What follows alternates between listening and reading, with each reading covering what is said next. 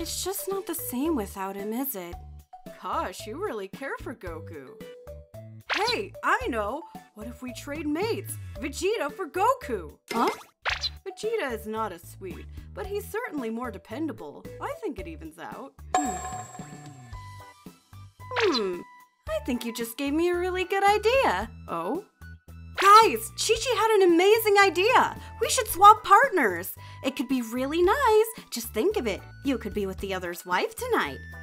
Goku, you'd be my partner, and Chi Chi would be Vegeta's.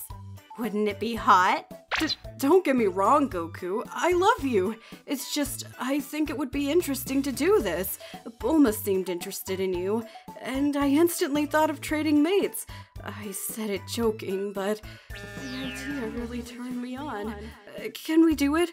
At least for one night. What do you think? Would you do it? P- please? I really don't get the idea, but it's fine by me. Chi-Chi seems happy and excited for it, so I guess it'll be nice. I refuse. I won't let the stupid Kakarot touch my wife. Come on, honey. I will reward you later. Anyways, I don't think Goku will do it better than you. We are doing this just to have some fun, okay? And also, you could even fuck Chi Chi better than him and show her who's the superior Saiyan here. Wouldn't you want to show you're better than Goku even in bed with his own wife?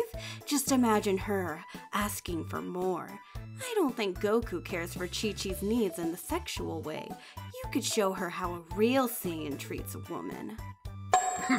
Then I guess I can let it happen. But only this time!